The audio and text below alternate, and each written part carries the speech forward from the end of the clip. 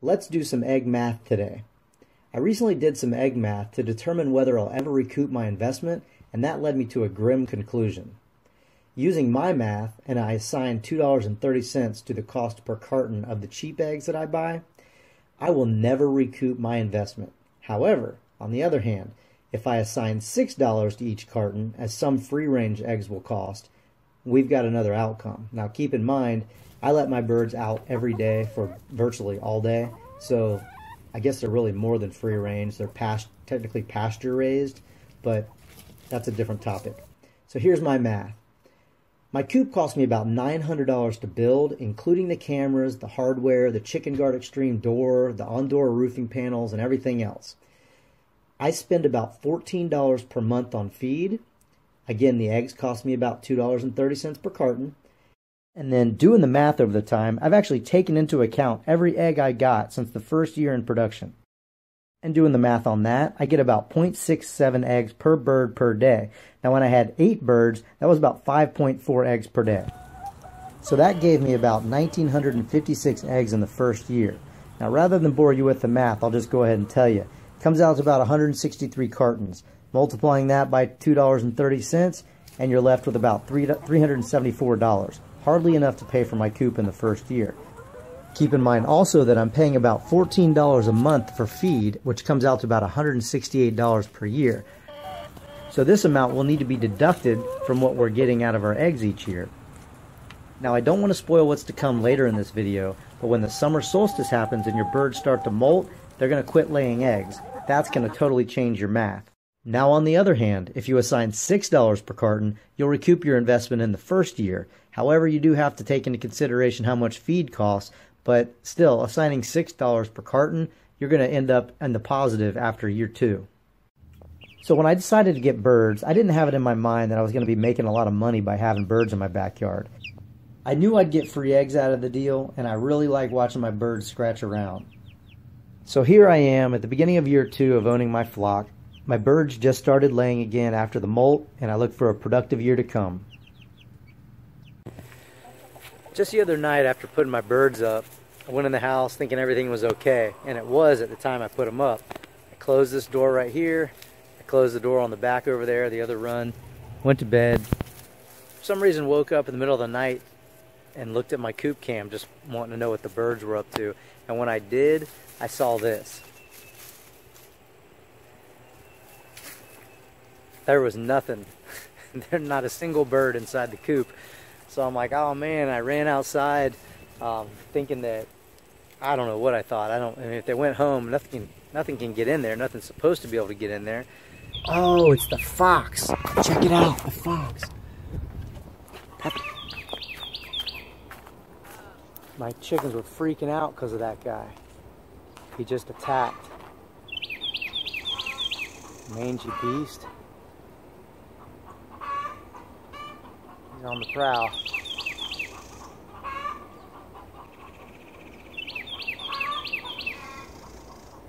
Alright, so back to what I was saying. Well, they weren't in there, but they were perfectly fine. Thank goodness. So we had three birds were sitting on the front ramp up here, and then we had some more birds sitting in the back over here. I'll show you where they were. If I can, I don't know if you can see through there. Ah. But inside the back run, I have a perch. They like to sit on this perch in the morning. Uh, usually they wake up, they eat some food, then they come in here and sit on this perch. There was three birds on this perch. There's a bird on this bucket over here. But I had no birds inside. So I gathered them all and I put them to bed. And I got to thinking, why didn't why didn't they make it inside? Well, the answer to that is the winter solstice.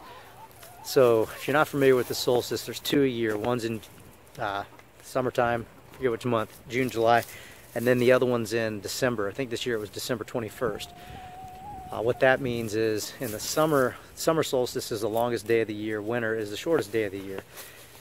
Last time I changed the time, oh yeah, I have a Chicken Guard Extreme as my door. Let me show you this thing. This is the Chicken Guard Extreme. It's pretty cool. It either goes up and down by a photocell or you can set a time. Well, I'm pretty good about setting the time for when it goes up and down. But last time I said it, oops, this perch that I'm sitting on is about to break. Um, last time I said it was at the end of November around Thanksgiving. I left town for a, I don't know, a week or so.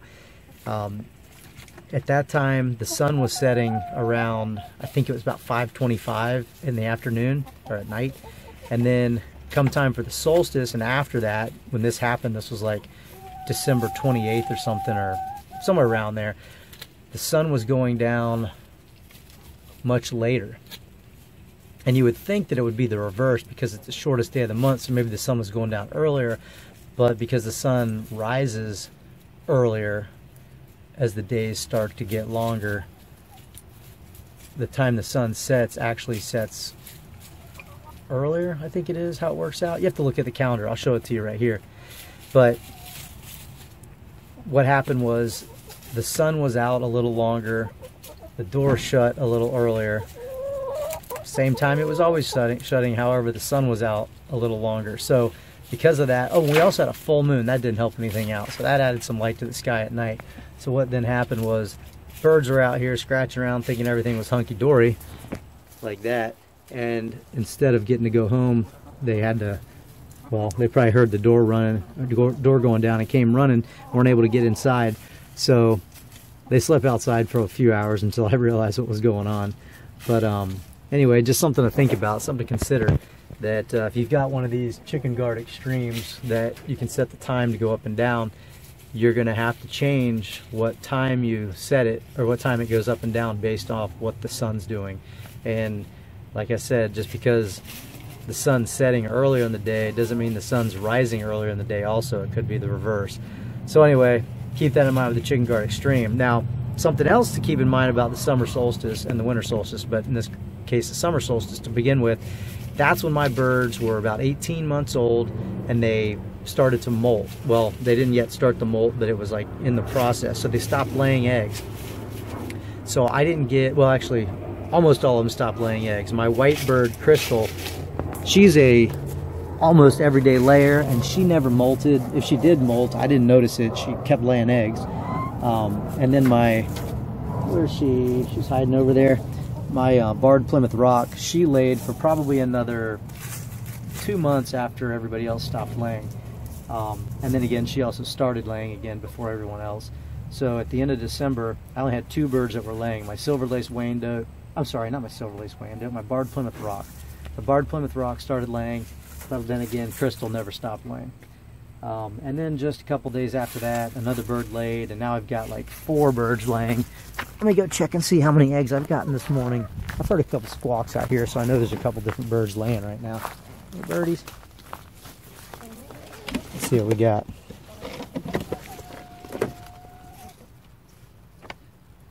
Nothing in there. We've got two eggs in here. And you can see two different color eggs. And even two more different color eggs. And put them all together to show you the difference. The white one, I know for certain, is crystal. That's my white Australorp this one right here, oops, I got a bird on my back. Hey, birdie. I'm just checking out your eggs. I'm just seeing what's going on in here.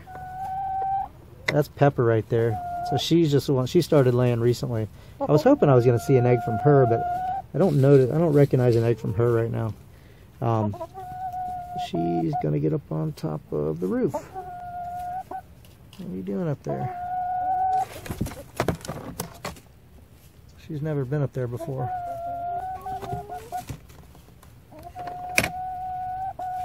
Hey, buddy.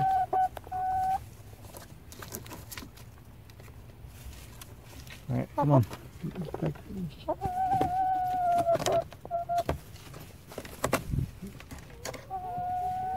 I'm gonna keep keep filming this, see what's gonna happen. I'm curious. Come on, just get back on my head. There we go.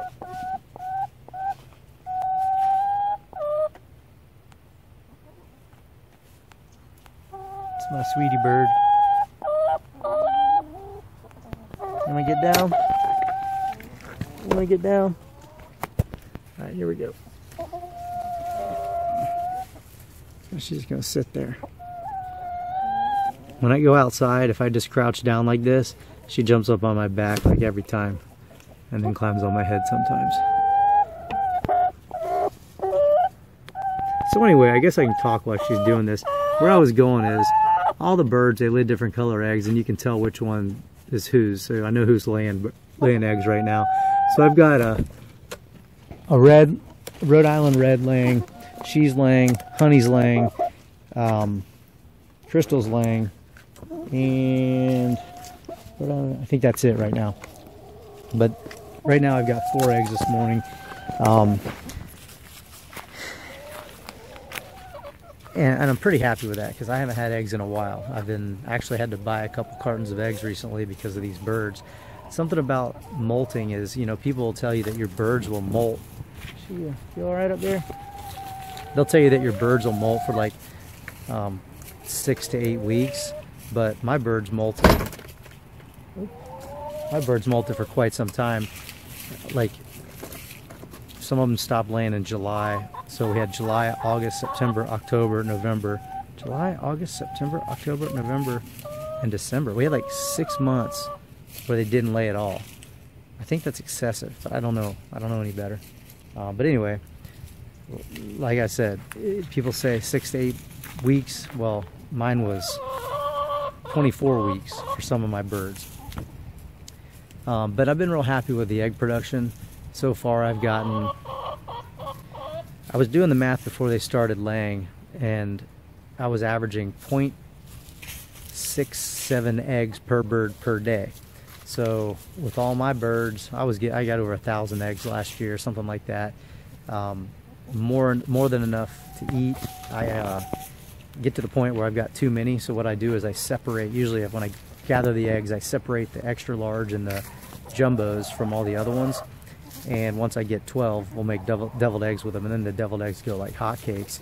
So I make typically make uh, eggs in the morning, maybe even make an egg sandwich for lunch. And I'm a I'm an egg person. I'm a breakfast person. I really like breakfast. I don't care what time of day it is. So I'll make eggs at dinner also sometimes if I have too many of them. But haven't ever had the, had it to where we had to give any away unless we're out of town. When I go out of town, I usually just tell somebody and they come by and pick them all up. But um, if you're trying to figure out how many eggs you're going to get per bird, you got a mixed flock like I've got here. Let me show you what I've got. I've got Rhode Island Red, Rhode Island Red, Barred Plymouth Rock, um, Buff Orpington, a uh, oh my gosh, a, a white Aust- or a, yeah, white Australorp or Austral White or whatever she's called, Silver Lace Wyandotte, and hiding over there is my Austral, my black Australorp. So I've got a mixed breed, a mixed bag of chickens, and I get about, like I said, 0.67 eggs per bird per day. So when I had eight birds, I actually had one pass away last summer. Um, I was getting roughly 5.4, something like that, eggs per day. And that's a lot of eggs, you know, when you're uh, trying to eat them all, you know. When I initially got my coop or started building my coop, I was curious to know if or how long it was going to take to pay for itself. At the rate my birds are going and as extravagant, I'm not talking about, you know, I don't have tile floors in there and marble countertops and things like that, but it's a pretty extravagant coop, pretty well built. I'd like to say, pat myself on the back. Um, it was roughly $900 collectively with all the cameras I've got inside, with the Chicken Guard Extreme door, uh, the extra run I added on the back and everything, you know, the, the roofing panels and everything.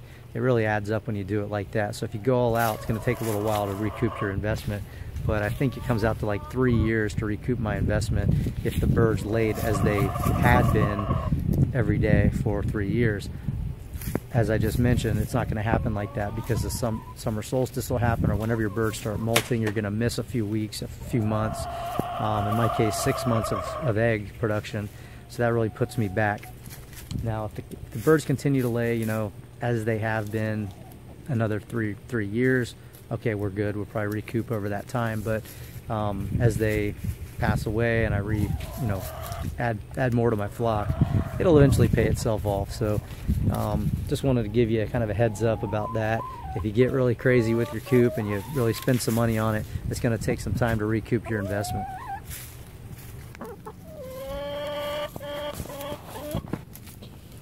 I hope you enjoyed my rambling. Like and subscribe, and we'll see you next time.